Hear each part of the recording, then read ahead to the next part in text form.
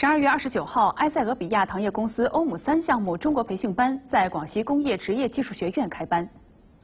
此次培训为期一个月，埃塞俄比亚方面派出四十名学员前来广西学习先进的糖业生产技术。培训班将向学员传授糖业生产的有关技能和理论知识，到中国的有关企业参观学习，培养埃塞俄比亚学员的工作实践能力，让学员深入掌握糖业技术，加强两国糖业产业之间的交流与合作，共同促进当地社会经济发展。